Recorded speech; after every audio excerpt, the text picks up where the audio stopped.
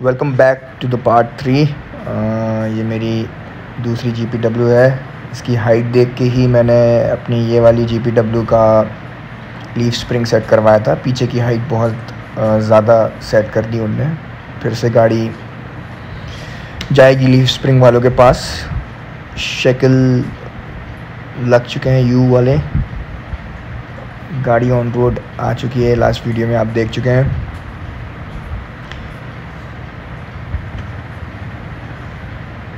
ये गाड़ी की हाइट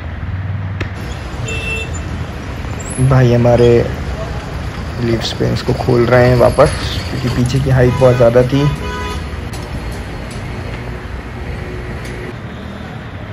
ये मेज़रमेंट करते हुए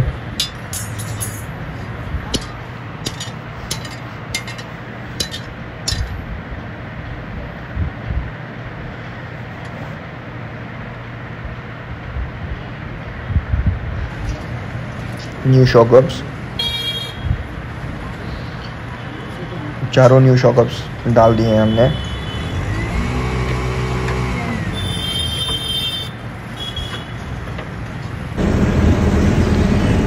वापस टेस्ट ड्राइव स्क्रीन चेक करते हुए स्क्रीन अच्छी चल रही थी।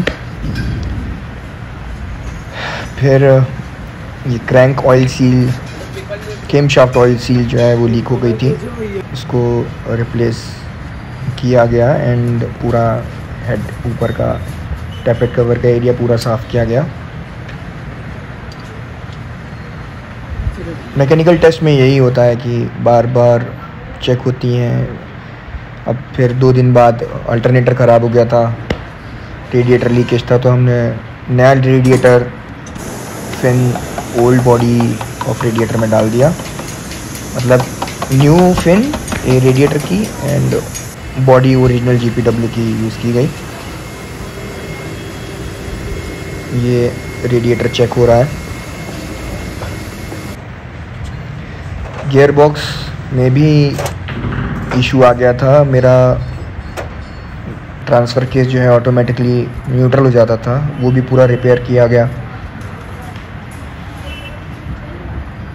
मैकेनिकल टेस्ट कंप्लीट होने के बाद, गाड़ी ये कंप्लीट है। फ़िलहाल तो कोई दिक्कत नहीं है। गाड़ी की हाइट भी आप लोग देख सकते हैं। स्प्लिट रिम्स लगा दिए हैं। सारे स्विचेस डैशबोर्ड कंप्लीट कर दिया है। अब ये बीओ ड्राइव थोड़ा ऊपर जाएगा। Light choke ignition throttle panel meters ball working temperature meter भी वर्क कर रहा है फेरेनाइट में।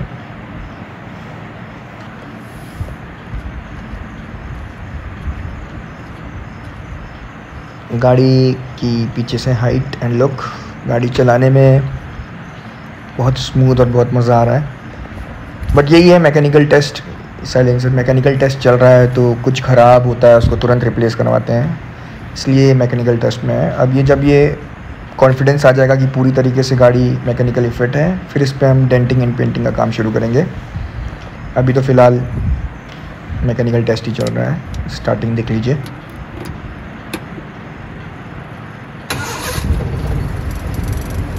Half self start oil pressure temperature meter speedometer भी वर्किंग है।